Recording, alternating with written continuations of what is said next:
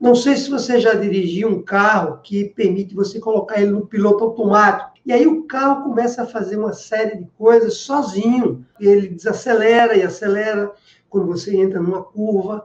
Ele você programa a velocidade que você quer é, percorrer, a velocidade permitida naquela estrada. Ele freia também ali quando você está entrando numa curva, tudo automatizado, tudo automático. Ele vai lhe mostrando também, vai dizendo para você quais são as rotas, se você precisar abastecer, e vai lhe avisar ali que você deve abastecer no próximo, próximo posto.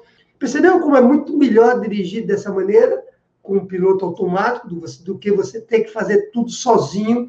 Você vai ter um esforço menor na hora que você está dirigindo o carro, você vai ter uma viagem mais segura, é, você com isso vai ter um desgaste muito menor, você vai ter mais tempo nesse sentido, né? Você vai ter uma viagem mais segura e mais tranquila. Numa empresa, é algo semelhante que você precisa construir, que esse método vai lhe ensinar a construir. É uma empresa que ela anda também no automático. Esse método de gestão 365 foi criado com o objetivo de ajudar a sua empresa a ser bem gerenciada, para que ela se torne mais lucrativa, que ser gerenciado para quê? Para você ganhar mais dinheiro, né?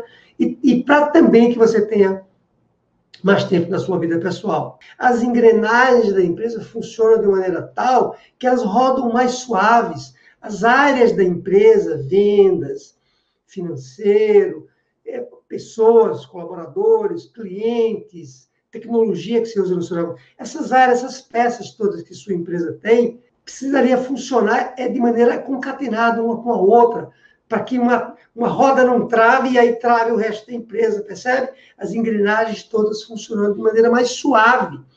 E podendo, quando elas funcionam mais suave, elas podem rodar inclusive mais rápido, você produz mais.